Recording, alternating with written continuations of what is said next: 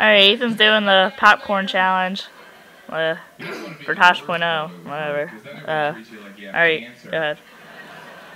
Oh.